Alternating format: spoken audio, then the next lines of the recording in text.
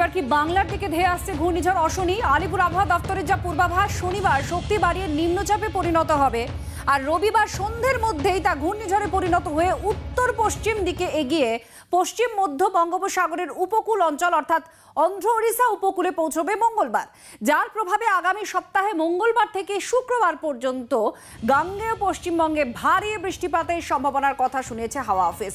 মৎস্যজীবীদের মঙ্গলবার থেকে উপকূলে যেতে বারণ করল আলিপুর আবহাওয়া দফতর। অয়ন ঘোষাল আমাদের প্রতিনিধির সঙ্গে রয়েছেন। অয়ন, কি আপডেট দেওয়া হচ্ছে? দেখো, এখনও পর্যন্ত যা আপডেট তাতে ইতিমধ্যেই যে নিম্নচাপ, তার শক্তি বাড়িয়ে গভীর নিম্নচাপ হওয়ার পথে এক স্টেপ পা বাড়িয়েছে এমনটা বলা যায়। পাশাপাশি এটাও বলা যায় যে এই নিম্নচাপ, এই মুহূর্তে যেটা গভীর নিম্নচাপ হওয়ার পথে যেভাবে শক্তি সঞ্চয় করছে, তাতে এটি অতি গভীর নিম্নচাপ হতে চলেছে।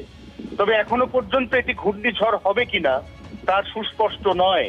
ন তারিখ সকালের পর নির্দিষ্ট করে বোঝা যাবে, এর গতি প্রকৃতি, এর শক্তি এবং এর যে অবস্থান এই তিনটেকে একসঙ্গে বিচার করে বোঝা যাবে যে এটি অতি গভীর নিম্নচাপ নাকি ঘূর্ণিঝড় কোনটিতে পর্যবসিত হবে।